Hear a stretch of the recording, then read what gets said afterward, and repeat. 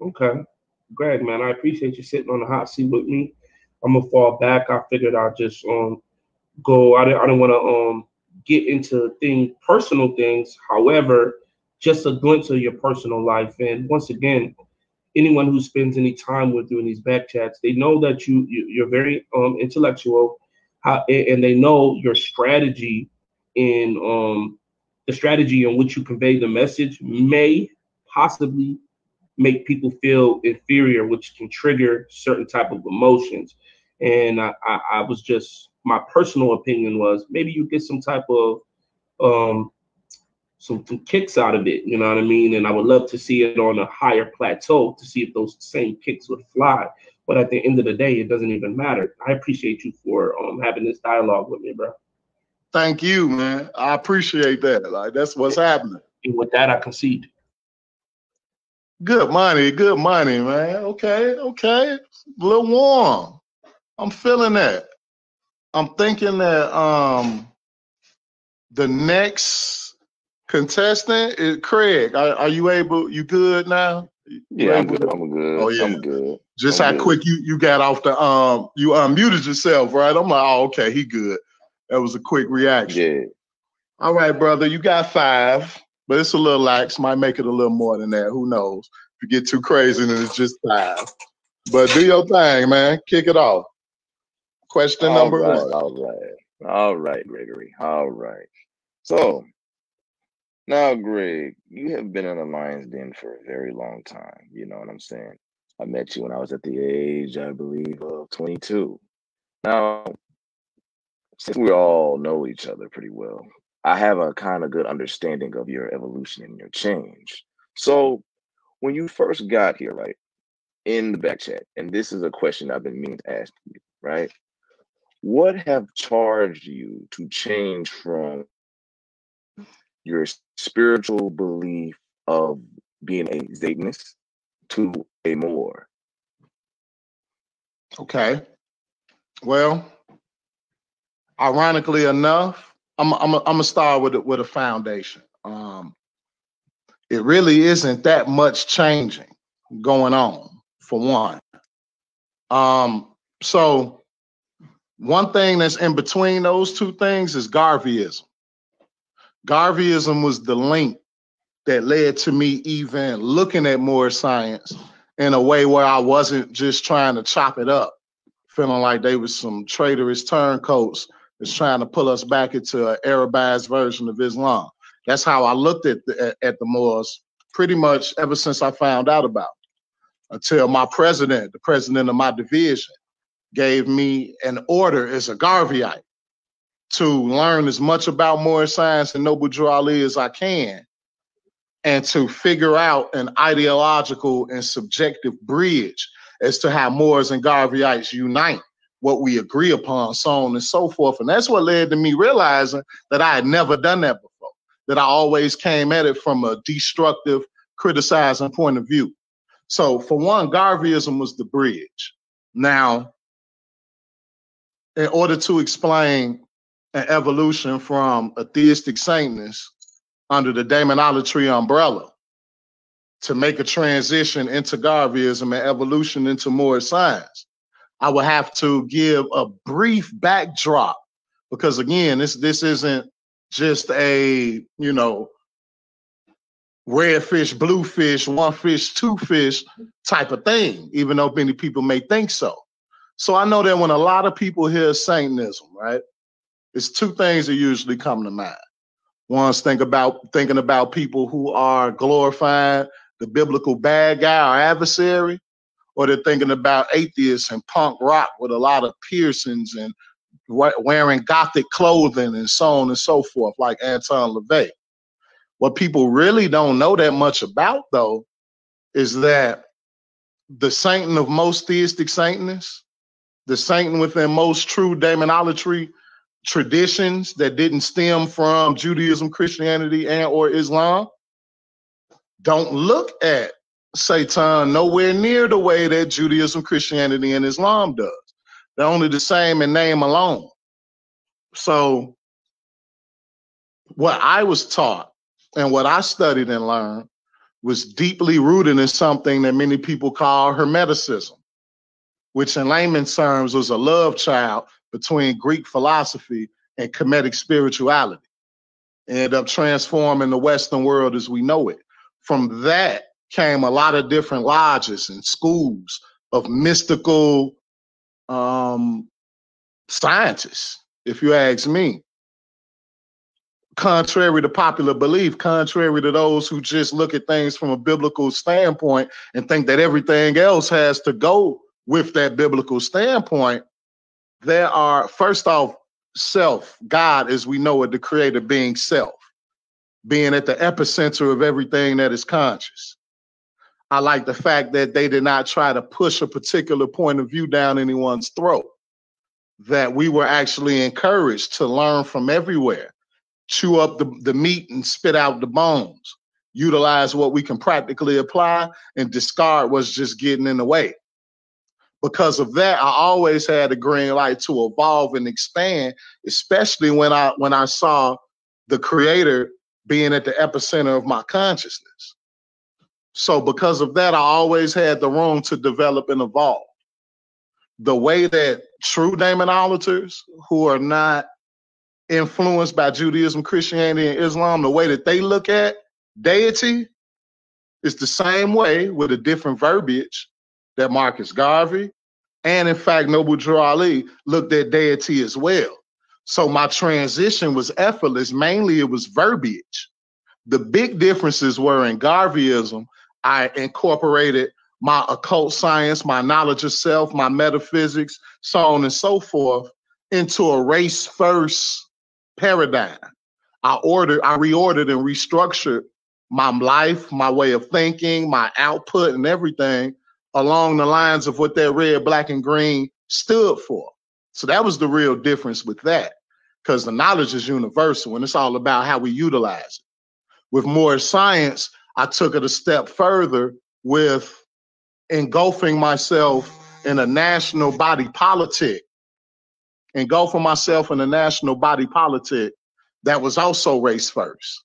That was my own, that would, that does not signify me acknowledging my origins being when these people had us, put us in slavery, and start calling us Negro, black, and colored. But when it comes to the closest place to find Allah being in the heart, when it comes to Allah and man being one, but time never was, what spirit man was not. When it comes to as above, so below, as within, so without. It was an effortless transition. The verbiage, the collective, the traditions may have been different, but the knowledge of self and the knowledge of the world around us was the same. So I say all that to say it was an effortless transition. Hmm. Okay. So basically saying it was an easy transition when you moved over into the more science, into a, a stronger and better body. Okay. I understand. Well, that's good. That's good. Now, next question, right? Now, with Hermeticism, right? And you know, I'm still very new to these things, Greg, and I'm pretty sure that you're an expert in it. Hermeticism covered, you know, very different spiritual practices, alchemy, and even some forms of mysticism when it comes down to manipulation of nature. So, one of the things I wanted to ask you, right, with Hermeticism and with these abilities, which are somewhat paranormal, with the study and the practice of the science of that mystical art, how how are you so adapted into showing black people a new form of power according to hermeticism apologies i had some calls that i had to get rid of real quick and it threw off my speaker and had it on the ear instead of the speaker and then i put it back on speaker just long enough to hear the end of your question could you please repeat the question for me, sir? Oh, no problem. No problem. So, since you said pretty much your main body of thought came from Hermeticism, especially when you transferred over into being a Moor, and mm-hmm. since Hermeticism deals with a lot of, um, you know, come on, Greg.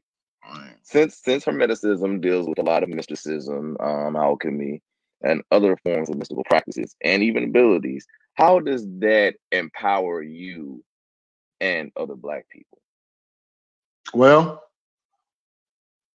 thought is the cause of it all, like was said in the Holy Quran of the Moorish Science Temple of America. Um, we've all heard of placebo. We all heard of mental conditioning. We've all heard of programming our subconscious and things that resonate in our wake, waking state with a with a large degree of, of impact and emotion with it will resonate and go into our subconscious and become a part of our automatic program. For us, first and foremost, to see ourselves as part divine changes a lot. When we look at or perceive what we consider to be our source of power, our source of salvation, our source of enlightenment to be outside of ourselves, it automatically puts us in a more inferior position. So there'll be certain things that won't even cross our minds to even give ourselves a chance to decide upon because we've already programmed ourselves to think that that's impossible. Whereas on the flip side, if we do recognize, and that doesn't say that you can't recognize divinity in everything, and, my way of thinking that hasn't changed throughout my path is that divinity or death within everything, even in Islam. You have the first pillar, which is the oneness of Allah. If Allah is one, then how in the world can I say that Allah is not in me and not in you and not in that tree, not in that dog over there, not in that cat? If he's in everything, he or she, depending on how one's look at it, is in everything. So I would say that having a knowledge of self and, and, and, seeing the divinity within oneself empowers oneself to not only expand their minds to other possibilities, but also have the courage to. As long as we look at what other people are doing or what other entities have.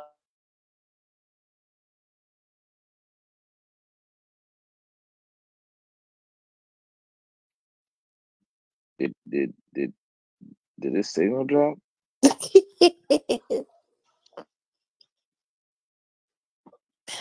yes. Okay. I hope he doesn't come back cursing.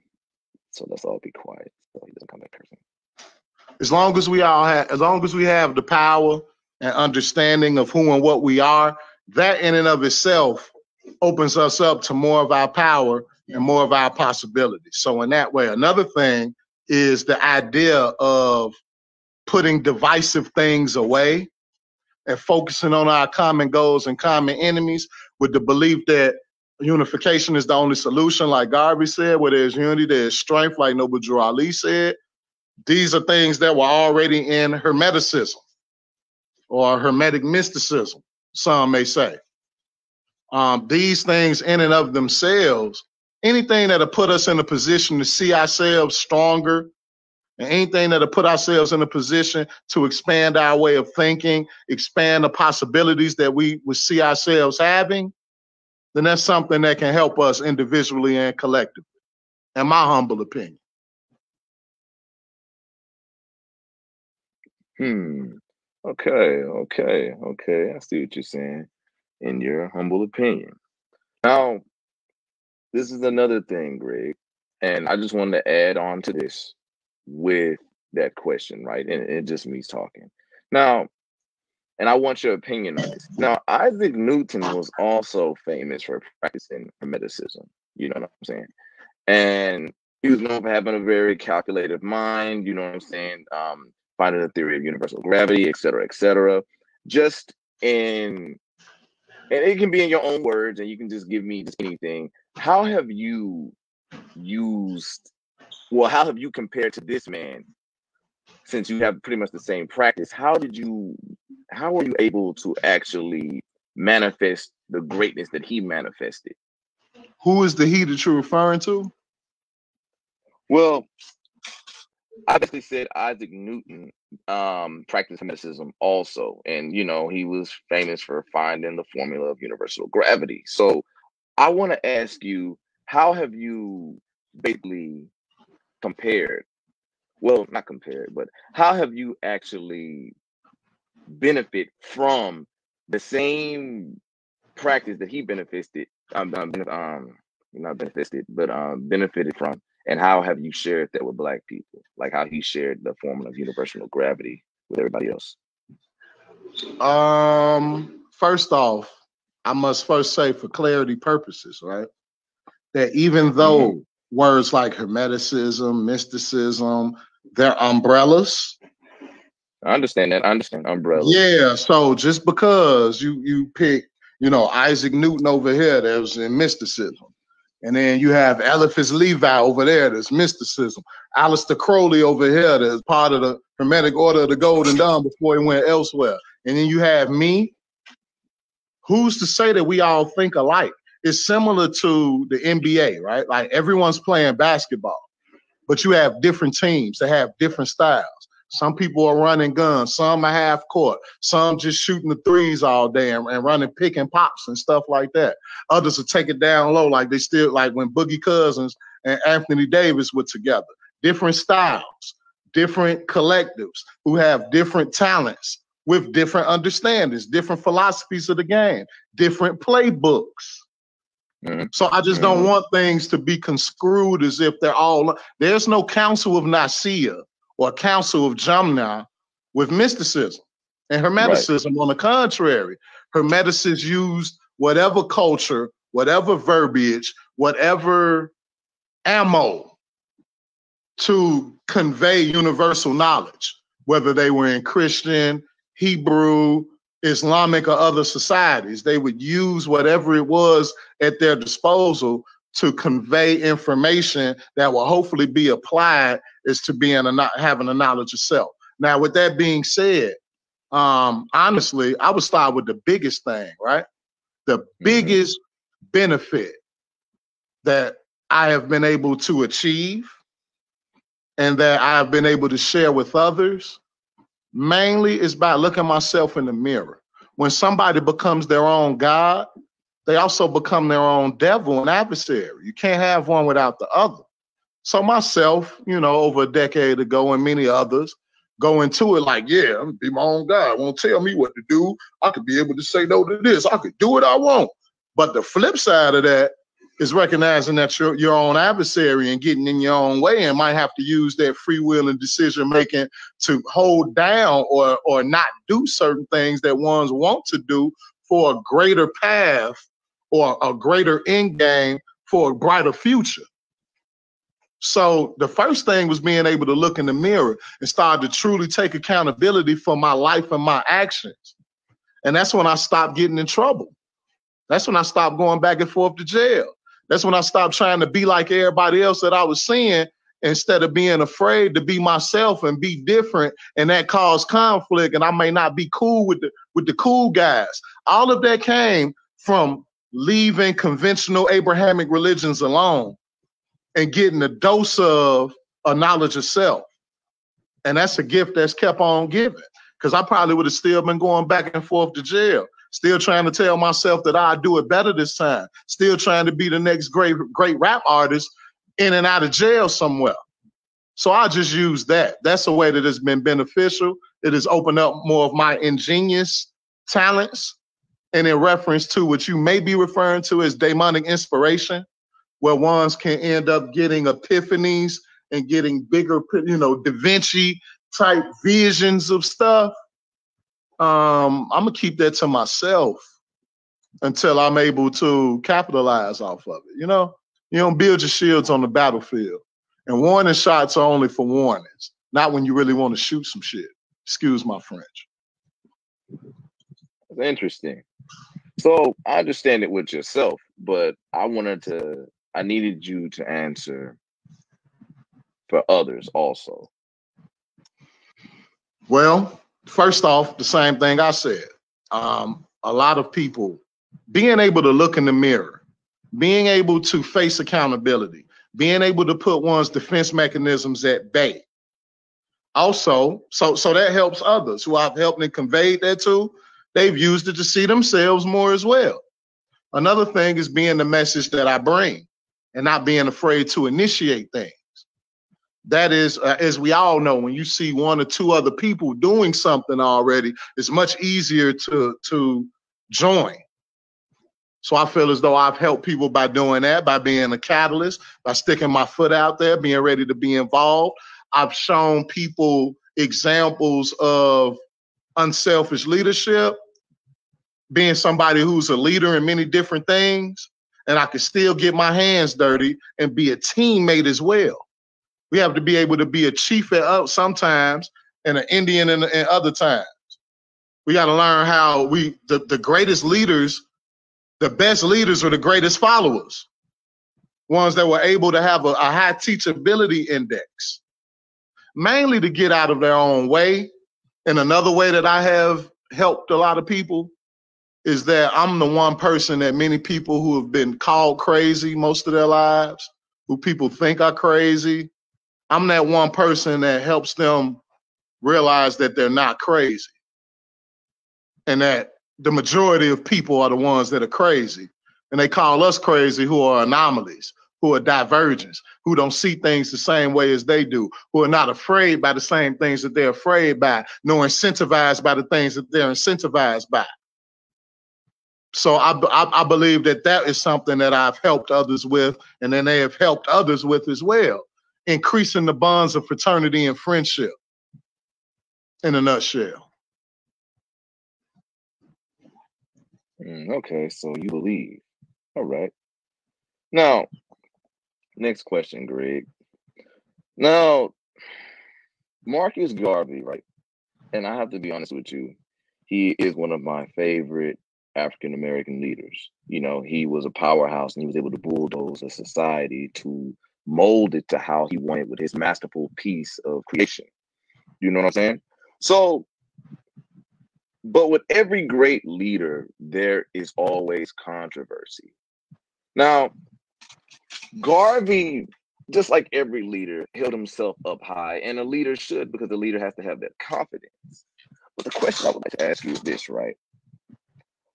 Why is it that people like you know James Weldon Johnson, um, Robert W. Bagnall, um, just other individuals who had the same idea as Garvey were unable to work with him since he had this philosophy of race first?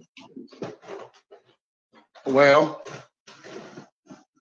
ironically, the last sentence or two that you said indicates that they did not have the same philosophy and that they did not um, see things the same way. On the contrary, they saw things in the opposite way. You're talking about those who are part of the Garvey Must Go campaign. Like you say, Weldon Johnson, um, guy made Ebony and Jet, W.B. Du Bois, a lot of the Negro Boule arist- uh, aspiring aristocrats. Now, before I start this, I'm going to be as unbiased as possible since I'm on the side of the separatists and not the integrationalists. I'm going to be as unbiased as possible. And my personal opinion, just as a, as a subset, I believe that it will take the field and the house to truly take the plantation. But with that being said, you have a blue collar versus white collar. You have a aristocratic versus ones that get their hands dirty. You have those who are more inclined to agriculture and industrial labor than they were to subjective paperwork, corporate type stuff. I'll just put it like that. So you had two different ways of looking at it. The ones who you were talking about, they were more so less confrontational, more tolerant. They had been more privileged. They had seen different shades of racism. They were ones who, like the House, they would be more more prone to um, going along to get along to a certain extent, to play the slick role, hopefully being a spook that sat by the door with it, but in most cases, not. Another thing was they didn't like someone who was not of an aristocratic stock. Honestly, they also didn't like someone who wasn't light skinned, who didn't have quote unquote fairer features and all of that, which is still considered a, a stake higher than those who had more distinctive so called Negroid features and of a darker melanated hue. They also didn't like that he was from another place, from Jamaica. They didn't like that somebody from Jamaica that didn't have the degrees that they had and the money that they had and the temporary quasi pseudo privilege that they had by being good boys and girls. They didn't like that they had someone who had none of that and was able to galvanize our people the way that they did. On top of that, they were afraid that Garvey's message and those who felt like them could end up getting them hurt or getting them in trouble. They were still under the assumption that if we were more civilized, more intellectual, if we would get along more and be get a good job, a good education, and, and take most of the BS that come our way, that things could get better. If we did, but as we could tell, integration hasn't really made anything better. Now I'm not a, I'm not a, uh, a fan of segregation, but I'm definitely a proponent of separation. And I feel as though, like most house niggas, they feel like if, if the field would get them in trouble. If those in the field try to bang on Massa, then Massa might think that they had something to do with that too. Massa might kick their ass out the kitchen too, and they might not be under the fan and shade. They might have to get out there in the field with the rest of the niggas if the rebellious niggas keep on talking this shit and keep on trying to buck against the rules. So I believe that it was dual and, and twofold. And on one end, they saw a competitor that had the people that they didn't feel like were qualified for it, and they would rather him be gone so that they could be the um puppet, like the the puppet leaders of Black America, where they could continue to pacify us and look like they're doing something, but all behind closed doors they compromise and to save their own behinds. Um, they were not. And so on right, like I said, on one end they were incentivized by getting a rival out of the way so that they could keep their prestige, and on the other end they were terrorized by feeling like those like Garvey and other um, preeminent pioneer Garveyites were fooling around to get them in trouble and have Whitey looking at them funny. And maybe they wouldn't be able to keep that nice job of theirs. Maybe they wouldn't be able to get them smiles and shake hands in the rooms with them if these old disgruntled, rebellious, belligerent Negroes keep on bucking against Massa. So in all actuality, it was the same ideological difference between the field and the house. And Marcus Garvey was in the field. Interesting. Well, here's my problem with that, Greg, right? Now, this is just me personally, and I'm gonna give what I've been looking over with Marcus Garvey. Um, the individuals that I mentioned, and the reason why I asked this question was because during that time there was a lot of killings of our people going on. And I find it appalling that there is always an issue, people in the midst of our enemies. Don't you agree? So once I decided to go further and look into Garvey as an individual, if I was in his shoes, I noticed, of course, he was proud of his blackness. He boasted an ideology that he was pure, he was untainted. He was not white in no matter or no fashion. But with the individuals that you mentioned, right? Well, that I mentioned, like Robert and especially W.E.B. Du Bois, how he basically belittled them and mocked them for being of a lighter skin or being privileged. This is what caused an issue between them.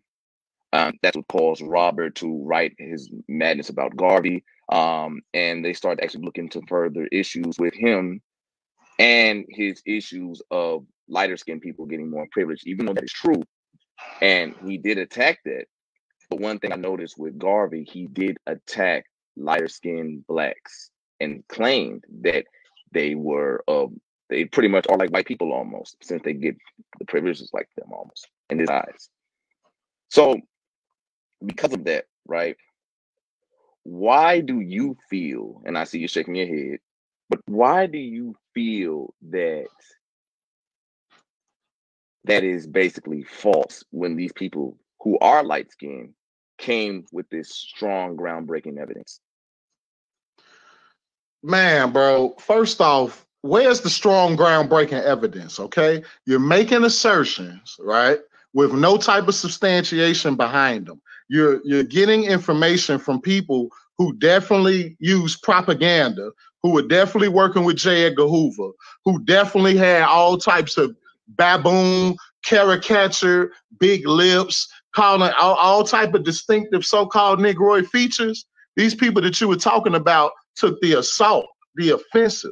Did you know that the first place that Marcus Garvey visited when he was in New York was the um what's their names? Um the boy now. Um Universal, what is called? United NAACP. First place he went was the NAACP. Mm-hmm. Trying to link up with them, trying to do work with them. And it was kind of okay. Did you know that when W.B. Du Bois went to Jamaica before Garvey even came, that W.B. Du Bois was a guest speaker in the UNI event? Mm-hmm. Did you know that? Yeah. So I'm asking why would somebody hold on? No, no, bro, no, because you be insinuating things and inserting things off stuff that you have, and you say it as if you're really thorough with it. I, I, but I mean, another thing that you said was that he was engaging in colorism. So I'm gonna ask you this: Did you know that the first two boats, steamships, that the UNIA purchased, do you know that they got there from a UNIA member that was that was passing for white? I, I understand. He was a part of the High Executive what, Council. well, what I'm asking. Why did Why didn't he beat him up? I'm. I'm why Why didn't he you. kick him out? It was great, all great, type of light skinned folks. Great, great, Don't you Don't you know Don't you know that Mark Malcolm X's parents met at the first convention in okay. August of 1920 in okay. Harlem? Okay, great, great. His I'm dad was light skinned, uh, but his I'm dad asking. Earl Little had, had a UNIA division everywhere he went. He was a UNIA president. He was a real Garveyite. That's why the Klan caught up with him and killed him. Okay. Because he was Let playing me... that red, black, and green flag everywhere. And he was light skinned. Like I have a plethora of examples of such. Uh, if I knew I... that you were going to, if I knew that you were going to take Garvey Must Go campaign people and use what they say and try to make it be truth and, and, and all this overwhelming evidence instead of being real with it, then I would have brought the um, philosophies and opinions with me. I would have brought um, race first with me. The very um, next time you try to throw Garvey under the bus and say things that are historically oh unfounded, let me know first so that I could get real materials and real literature and just blow blow the head right off this straw man that you're formulating. But he was not a colorist. On the contrary, Mm-hmm. The UNIA had people of all hues. He was against colorism. He was against us being lumped up as either color or mulatto. What he was trying mm-hmm. to do was make Negro and black be universal instead of them cutting us up between who's more light skinned and who's more dark skinned and you're more like us and you he tried to put black, brown, and all that all into one category even though he did he at time he did not want to keep using that terminology. Mm-hmm. I remember reading somewhere, I think it was in volume three of the philosophies and opinions, only one publication of that one. Got kind of like a black and white Scarface type of cover to it. Came out in the 70s. He was um talking about a time where we would leave the Negro terminology alone. But at the time you had black and colored, mainly colored and mulattoes and stuff. So that was one of his ways of trying to unify the so-called light skin, so-called dark skin under one thing, right? It was the Universal Negro Improvement Association. So for you to come on here and try to insinuate that he was dissing them because they were light skinned and then and they was just defending themselves is complete bullshit. These people were with J. Edgar Hoover. These people were up with COINTELPRO, crying to J. Edgar Hoover They the ones who put J. Edgar Hoover on him in the first place. Did you even know that that was the first person that J. Edgar Hoover ever targeted? That was the first person that he was afraid of being the black messiah. And it was them same people you talking about that was calling and that was trying to get him in trouble and that was tricking on him. So for you to be sitting up here and man, like you bogus, bro. Like learn more about both sides before coming on here live trying to throw dirt on Garvey name. Study to show uh, yourself nobody, approved, no, like the nobody, Bible that you claim to adhere no, to. No, no, nobody, nobody's throwing dirt on name. Study to show yourself, man. You just said that he hold, was a colorist on, and that he was dissing other black leaders because they were light skinned, bro. So yeah, you can't tell yeah. me that you ain't throwing no dirt on his yeah. name. You talking about somebody who claimed to be race first, oh, that was talking God. about all us being unified, and you saying that he was petty and a colorist and was dissing and hating on these people because they was light skinned. Oh, you can't tell me you ain't throwing him under no bus, bro. you don't know what you're talking about. Hold on. You need to study more. Yes, yes, yes, I do. I understand what I'm talking about. Well, prove what you're talking about. Hold on. Prove him initiating the people who collaborated in the Garvey Must Go campaign. Prove that hold on, hold he on. initiated the attack uh, and was and was banging on them being light skinned. Prove that. Because there is no evidence for that. You pulled that out of the crack of your behind great, somewhere. Great, great, great. Can we get back to the question? Now, here's the thing, right? And this is what the major issue was before you did the whole famous Greg Rant. Oh, because right? you be lying though. You got loaded lying questions. Hold on, hold on, man. No, I don't. No, I don't. But this is what I'm trying to ask you, right? Now, since Garvey was race first, right? I'm going to ask you a question again, right? Since he was race first, right? And he believed in the so called superior stock of Negro. I mean, it's been times where he even boasted about it himself. And even these people that I mentioned even mm. got his own words, you know. No, I don't remember verbatim. But what I would like to ask you is this, right? Why is it that when it came down to working with these other black um inspirational figures, right? Now you said that you know that with the government and all these things, right? But he was mainly closest to W.E. Du Bois. Why was it that he was not able to cast aside his differences with them in order to work with them and to push and to become better? Again, you're perpetuating a false negative. I mean, a false narrative, bro. A negative narrative you're insinuating that he couldn't let his bullshit go with them when again, when he was in Jamaica before ever attempting to visit Booker T. Washington at Tuskegee Institute. W.B. Du Bois was a guest speaker in the UNIA when he came to Jamaica. That's not somebody who has a problem with somebody that they can't get over.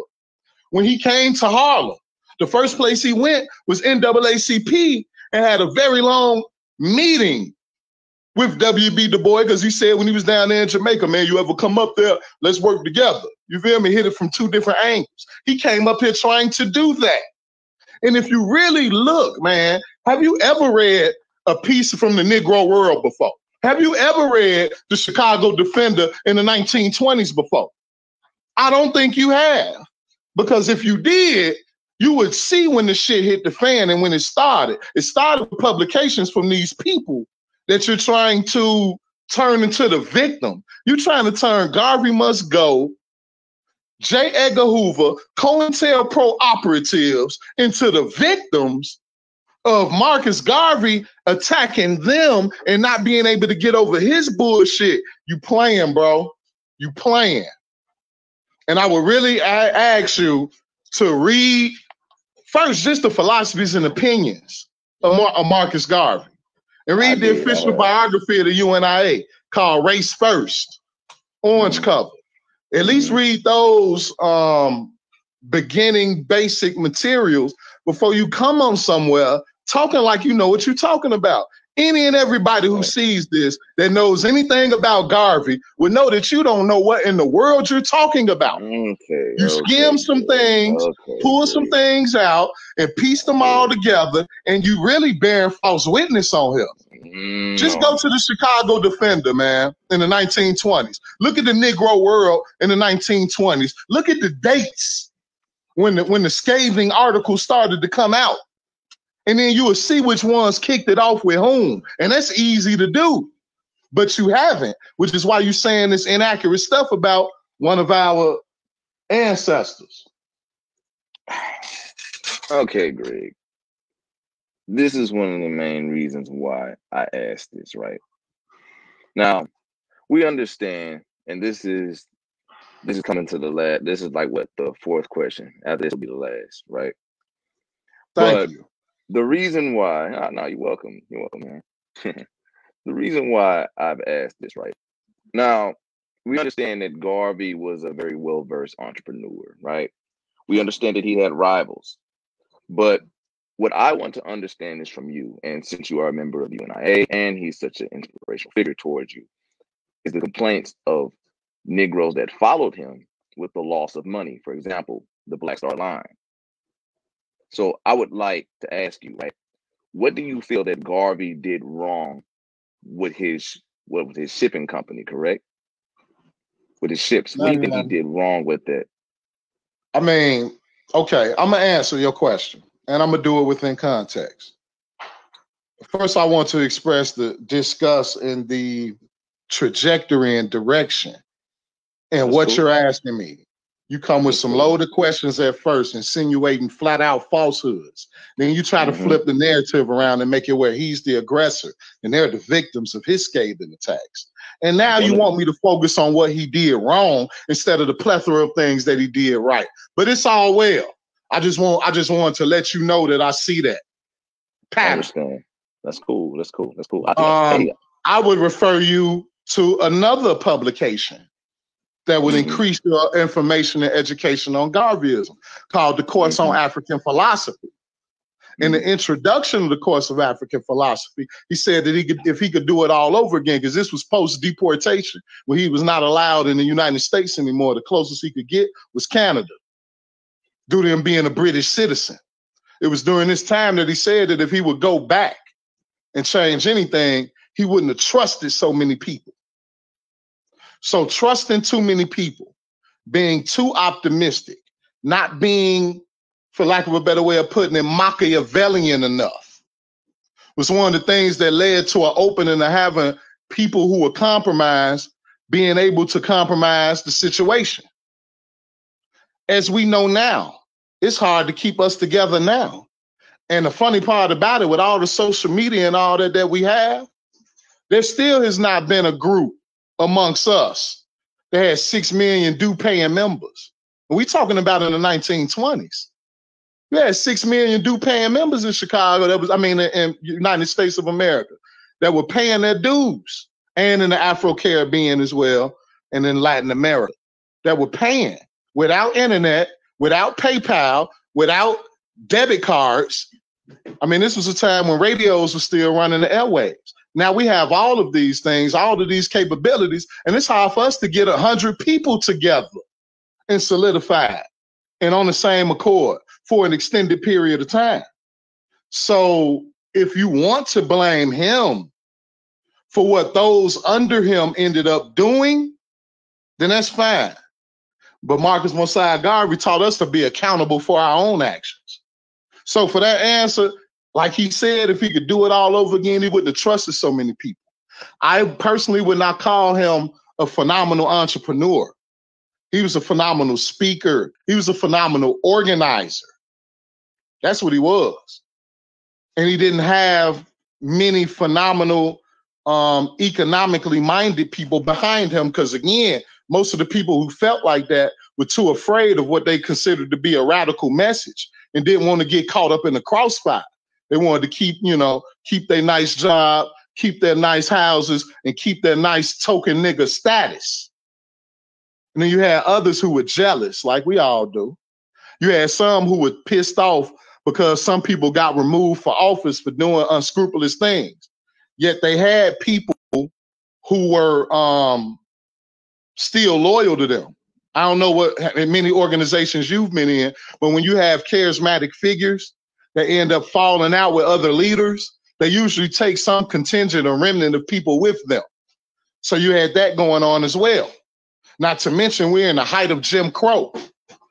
You got the FBI playing real dirty, extorting people. They were extorting people. They were embezzling. They were killing people. They were putting a tight squeeze on people.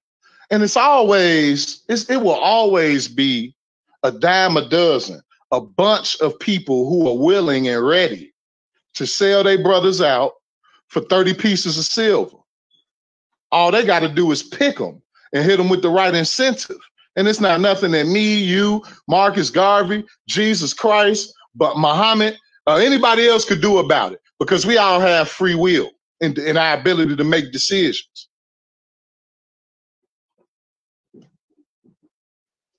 Hmm. That's interesting. That's interesting. But my problem with this whole thing, right? And, and first of all, you got to be a hell of an entrepreneur to own some damn cargo ships, man. You, you got to be one. So you, you got to give that to him, Greg. But my problem is, right, with that, right? When he has, when he testified in court, when his people spent the money, right, to get from point A to B for whatever business, right? A lot of them were left waiting. A lot of them were left distraught. You see what I'm saying? So I understand what you're saying with the espionage and the Europeans doing what they do. But what I'm trying to say is this, right? Since Garvey was able to amass all of this wealth, why was it, well, from his people, and of course for his people, but why was it that their priority was not given to them in abundance first? And why is it that many people testified against him, Greg? Hello? Did he leave? What the? Nah, my bad. I was trying to do something, man, messing with the controls and button pushed my way right on up out of here. Apologies. what was your what was your final question again? Uh, this is not the final question, but what I was asking was this, right? What a Since shame. Marcus, no, yeah, it's not. You got one more, but since Marcus, right, he had the Black Star line, and I'm just gonna rephrase it. You know what I'm saying? I thought you were trying to kick me out, Greg.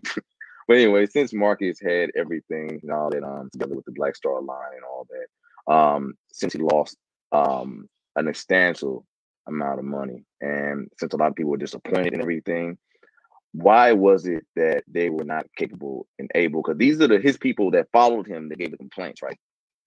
But why was it that they weren't able to get what they paid for with Garvey? Okay, so first off, wherever you invest in a corporation and you pay stocks in that corporation, there is a risk for a return on investment. Just basic, just just basic stocks one on one. Right. You're right. always risking, even like it was a risk with Apple before Apple blew up, with Microsoft before Microsoft blew up. But neither one of them had COINTELPRO going on either. So, in a nutshell, I'll try to be um, less wordy with this one. How can I put this? They weren't able to for a few reasons, right? One is is fractional sectarianism. Ones broke up when it wasn't a leader strong enough to galvanize and keep everyone together. Then again, you had also COINTELPRO with all type of operatives that they were paying and extorting and this or that. And then you have those who would happily get him out of the way so that everybody wouldn't be talking about him so much. Maybe they could get some more shine. Literally the same type of stuff that we deal with right now.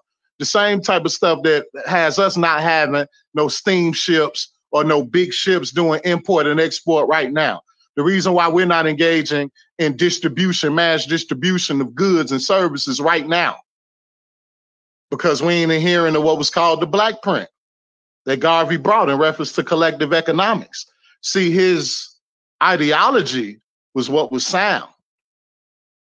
The ability to practically apply it has many hands on deck.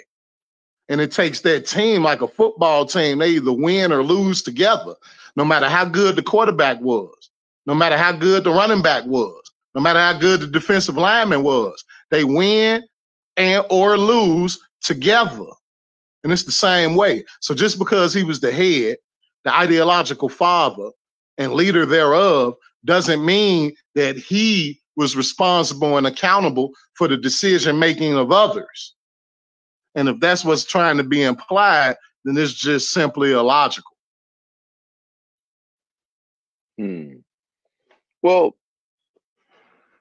and I'm gonna get ready to get to the next question. But the reason why I say that, Greg, you know, since Garvey dubbed himself as the emperor of his people, you know what I'm saying? He put himself on such this high status. I felt that maybe he should have been a little bit more honorable, even though it was not his fault. And when I mean by a little more honorable, he should have paid his people back that invested in him instead of just leaving it high and dry. I understand how the corporation worked like that, but these are black people. You see what I'm saying? So that is why I'm bringing this up to you. Maybe it would have been. Uh, hold, on, hold on, hold on, hold on, No, no, no, no, no, no. Because you keep instead of instead of doing questions, you keep inserting this bullshit in the middle, man. That's unfounded and true. And I'm not gonna let you smear that man like that, bro.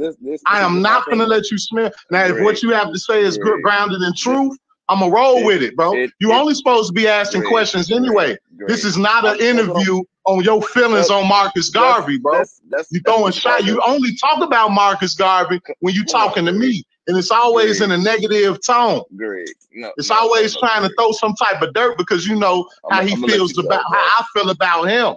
No, no, and that and that's lame and shady. Okay. So okay, great, great. Keep me, it to the questions. Quit me, spewing this bullshit live, bro. because you don't know what you're talking about. Come, on. And you know you don't know what you're talking about. but you keep on. Dude, when the feds, when the feds come at you for embezzlement, they lock your accounts up. Uh-huh. They seize your property. They seize your assets. Mm-hmm. So for you to sit up here and say that he yeah. was unjust or dishonorable for not paying them back when they locked up all of his assets and kicked mm-hmm. him out of the country, mm-hmm. away mm-hmm. from his organization, away from the bank accounts, mm-hmm. away from the property. You bullshitting again. You keep trying to have no, a negative tone. No, Look, right. On, all right, check this out, bro. All I want, with all due respect, is one more question from you. And I don't want to hear none of your vitriol laced, venomous commentary I, I in between. This is a Q&A. I'm on a hot seat. I'm supposed to be answering oh, questions yeah, I, that were I asked of me. I know, I know, so leave it to the questions. I, I know, I know, I know, I know. Yeah, I know you know, and you're doing it anyway. But trying but to be on, heard. What, but trying on, to be heard. Giving you compliments, you didn't care about that. And Man, I don't care about you throwing dirt on Garvey name. Oh, and this is a Q&A. Oh, so just God. leave it to the questions. This ain't here oh, for you to oh. tell your story, bro. I'm not trying to tell my story. That's exactly what you're doing. So trying to uh, means nothing when you're doing it. I can't Just leave it to the questions, bro. I don't want to hear no more commentary in between. Uh, Do you have any more questions? Not statements, questions. Yeah, I got some more questions. Okay, let me hear them. Okay, all right. I, I see you didn't want to hear that. That hurt. Man, that ain't no question, dude. Do you got questions, man? Finish. I'm not gonna keep finish. playing with you. Finish. I'm not gonna keep playing with you. Greg. I'm gonna answer the question. I'm gonna don't give me no more bro. statements, bro. I'm gonna remove you when I hear okay, something that don't right, sound right, like a question. Right. You hear me? Okay. All right. Stop okay, playing, bro. Okay. Here the last question, bro. I wasn't even playing, man. Damn. Okay. So here the last question, Greg. Now, with the last broadcast, right? I noticed that you mentioned parapsychiatry right now. We all with know that what? with the last podcast with Ratchet Craig, right? You know, oh. we realized that when you mentioned parapsychology, right? We understand that parapsychology deals with hypnotism, telekinesis, PSI, all those other abnormal things, right? But no, when you first hold on, hold on, Greg. Let, no. Let me speak. Let me speak. Yeah, but you land again. You laying a fraudulent not, foundation down. I'm, I'm, not. I'm not trying to ask a loaded question. I'm not trying to. You want to find the definition, please? That's what we yeah. all know. That it's a definition for it that encompasses the semantic value of the term. Don't wing it with your shady connotations. I'm not giving shady connotation. Well, But- at least know what it is, man. I know what it is. Before you give me a loaded question. Greg, Greg, Greg, you can Google it, and it's the study of mental phenomena. All right, like hypnosis. There we go. There we go. Okay, the that. study of mental So- phenomena. Not only that, it also covers hypnosis, telepathy. All of those are mental phenomena. Yes, okay? yes, Everything you yes, finna say is a mental phenomenon. Yes, yes. But parapsychology are not relegated to the okay. okay. extreme Greg, cases Greg. that you're referring to. They're just under the umbrella of parapsychology. But what's up under that umbrella is not that umbrella. Do you understand that? Okay, great, great. So Let mental my phenomena. Let me let me finish. Hold up, hold up, hold up. That's not the full definition. But let me finish my question. All right. Now, Bullshit, no, bro. no, no, I'm not. You're just interrupting. Now, with parapsychology, right? Mental phenomena, different, you know, precognition, clairvoyancy, psychokinesis, all these abilities, right? And it is considered as a pseudoscientist by major mainstream scientists, right? Now, this goes off of definition. Now, I've noticed before you made your transition from Satanist to Moor that you claim that you were able to do some of these unique phenomenons, like astral project, um, go into the alpha state, you know. Um, Ask your question, emotion. please. Hold on, hold on, Greg. Hold on. hold on, Please. This on, not a question, man. It's a It whole is- paragraph with all periods at the end. Greg. Ask your question, man. Let me finish. You keep interrupting. Ask your question. You ain't start asking nothing yet. You steady giving declarative statements. Questions are interrogative statements. This is third grade English. First chapter. Ask your question, please. You're not gonna interrupt me no more. Ask your. All right, bro. Keep playing. Ask your question, man. Ask your question, bro. I don't want to hear no commentary. I don't want to hear what you think you that you think I think, or what you think I know, or how you think I move, or how you think I see things. Ask your MFN question. I'm trying to answer the question. But this How is you trying I'm to answer the here. question? You're not asking. bro. Do you know the difference between a declarative and interrogative sentence, bro? Yes or no? This, this, this is what I'm saying. Do you know the Greg. I'm trying to difference? You giving me me- declarative statements. You're not giving. Bro. You ain't giving me not nan me- interrogative let me- statement, bro. These ain't no Greg, questions, Greg, let me let me man. Ask the question. Ask the question, bro. I'm gonna tell you right now. If it ain't no, if it don't sound like no question, five words in, I'm removing you. Period. I'm not gonna keep playing with you. You're making So me think you're trying So to get anyway, some shine so, or something so, in a goofy way. Anyway, so anyway, Greg, we know that mainstream scientists, like I've been trying to tell you for the longest, is considered pseudo. I mean, we know that parapsychology is considered pseudoscience by majority of mainstream scientists because of its outrageous claims that it deals with, like ghost spirits, near-death experiences with um synchronicities of other realms and stuff like that, right? Now, That's you not true, man. pheno- oh That's not God, true. bro. This is what I'm saying. Ask your fucking question, man, because you keep putting lies in here. The reason why they consider it pseudoscience is because they don't have proof of it being observed, experimented on, with a conclusion. And that, and when they do that, they can't be replicated. Something that's observed, experimented on, and concluded, and other people could take that, do the same thing, and get the same conclusion. That's why it's called pseudoscience because there's no proof through the scientific method that can verify and validate those claims. That's why. Again, Okay, man, so stop bringing up. Just ask your man on my So, mama, bro. If you do what- this that's what I'm again, to- you do this what I'm trying again, to- and you out of here, bro. on, I'm not bro. finna keep playing on, with bro. you. That's, Ask your that's what I'm- motherfucking question, man.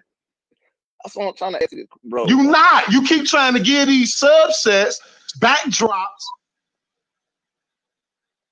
I ain't coming back to him, man. I gave him a bunch, and he keep playing. He need to ask his question. He played this game Bro, again, trying to get his bro. pseudo information out before the question. To load it up, I'm removing him. Period. bro, bro. Ask your question, bro. I don't want to hear shit else but your question. I'm not finna keep telling you that no more either. Okay, Greg. My question is this, right? With parapsychology, right? Why is it that most scientists would not even consider it as a real form of science? Could have asked that shit like 15 anyway. So, like I was saying at first, they don't have proof, allegedly, according to them. They don't have proof of things being experimented on and concluding in laboratories. And they don't have the ability to replicate what people say they did to come to these certain conclusions. That's why most of mainstream says that it's pseudo. That's that's their version. Now I know of hundreds of articles and studies of people getting laboratory is harder. Another reason is because of bureaucracies with industries and institutions. There was a point in time, do you know why the Wright brothers had such a hard time creating the first airplane? It was because the scientific and academic community at the time felt like there's no way that gravity would allow something so big and so heavy to stay in the sky for so long. So investors were listening to the scientists. The scientists was telling them that this shit's pseudo, so they ain't put their money in it. And then when they were proven wrong, guess what? They invented the law of flight. For a very long time, ones thought that meteorites were pseudo. The scientists due to them seeing things be more condensed down here on the terrestrial side and seeing that the further you go in the atmosphere, the more thin the, the, the molecules, more space between the molecules. So they felt there's nowhere in the world that some hard rocks could come from up there where it's all thin air. Now that sounds funny now because we know better and they adjusted. But it's the same thing with this if anybody thinks that science is the one institution that is pure, that is uh, immune to bureaucracy, to politics, to sponsors with money, giving directives to fulfill agendas that are not conducive with the purity of science. If y'all think that the industries are as pure as the science thereof, then you're naive and ignorant. Every institution in this world has people who are financing and governing who will give their opinion and make moves based on their finances and getting more of it. The scientific community isn't immune the academic community isn't immune or industry isn't immune. It's an institutional thing. So there are hundreds of articles. There are people who have enough money, very few, but there are people who have enough money to do their own laboratory research. There have been people for probably 100 years, at least 100 years, who have been conducting experiments on these things. And the things can be replicated. But the problem is too many people appeal to authority. And they have this Santa Claus type of faith. Ironically, a lot of these people who claim to be atheists, who, who are shit on any type of God or anything, their faith is in the, in the legitimacy and integrity of institutions that they know the same people who beat our ass and told us our name was Toby are still running. But for some reason, they want that to be pure. Sometimes I think a lot of them exchange their theology to turn academia into their new God, to turn the institutional powers that be into their new God, which is why I always challenge them to get scientific with these things that you're presuming to be pseudo. Because nine times out of 10, the stuff y'all reading, them people ain't looking to it either. And if it's anything that their sponsors can't control, and patent, make a bunch of money off of, they're going to bury it anyway. The same way Chrysler buried the engine that could run off water in the 1970s, for instance. Hmm, I agree. I know you're not gonna let me get out no more questions, but that, that's it, man. I appreciate. You can get out more questions as long as you leave them to questions. I don't want to hear what you think I, you think I know or what you think you talking about because you've been wrong every time. And low key, you've been wrong for two years. Just give me your questions, please. All right, right.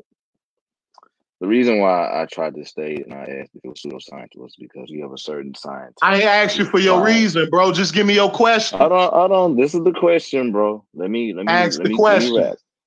let me wrap. The reason I asked you that question earlier, right? A specific scientist. Who's next? Brother Trenches or Sister Denise?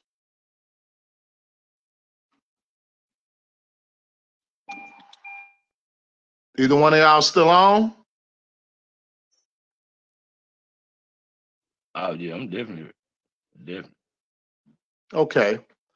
Peace and love, brother Trenches, aka the Snapback Hebrew. Man, what's up, man? Shalom out. What's going on? Yes, sir. Yeah, I'm um as you can see, even though I'm in the hot seat, a lot of people didn't join. A lot of people didn't join, even with me in the hot seat, right? I, th- I know they scared of me asking them questions, but I guess they scared the other way around too for whatever reason. That's kind of funny. But before I get to your mm-hmm. first question, I want just want to say a shout out to all those in the den with me and other groups and so on and so forth with me. That's that talk a lot of stuff, that act like they really want this smoke and all that. What's going on now? I'm in the hot seat. I'm taking all challenges. I'm taking all questions. I ain't pleading no Fifth Amendments or nothing. Where y'all at? That's what I thought. The link's still open. Big mouth heckler. With that being said, I would like to turn it back over to our brother Trenches so he can hit me with his first question. Yeah, and first thing, um, because I'm having a lot of technical difficulties myself. So in in a lot of those people's defense, I, I just I ain't gonna make no excuse for them, but I will say it's a lot of that going on too right now with this uh internet. So uh yeah, first question I would like to well let me get some clarity first. Because you already pretty much answered the questions that I'm about to ask uh for clarity, but I just wanna get it, like I said, for re-clarification, I, I, I would say. Uh you are a, a member of the Moorish Science Temple of America, right? Okay, and you are also a adherent to what you and I would call Damon. Oh, you, you're muted. You're muted. My bad. And you also an adherent to uh, demonology, if I'm not mistaken. I converted to Islamism. Oh, okay, okay, okay, okay. But like I was saying earlier, you know, there aren't that many differences in reference to the knowledge and the gnosis and stuff like that. So it was an effortless transition. Okay, see now you gotta take my question in a different direction. Could you elaborate on that a little bit when you say those those differences aren't that different? what I mean by that is the hermetic principles that demonolatry are grounded in are universal principles and truths that more science is grounded in. Like Allah and man being one, time never was when man was not, that we are seeds of Allah, therefore we have every attribute and potency of Allah, that we have the ability to, to form light and create darkness, make good and create evil, that we are what our forefathers were without a doubt or contradiction, and that we have the ability to operate and demonstrate and manifest and co-create while being about our father's business. It's the same in demonolatry, and it's really the same in every mystical hermetic school that spawned from the sands of Kemet.